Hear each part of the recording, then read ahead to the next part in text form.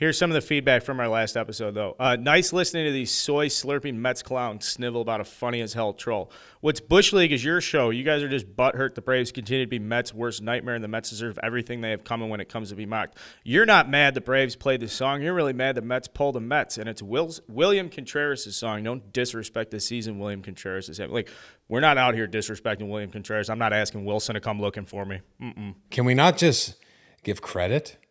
Do we have to be we have to be diehard fans of of the teams we're talking about? Like, take it easy, relax, okay? But that's just how people see baseball. They just fucking see their team and they don't care about anybody. They else. overlaunch in the morning. Their team might have lost the night before and they're just heated.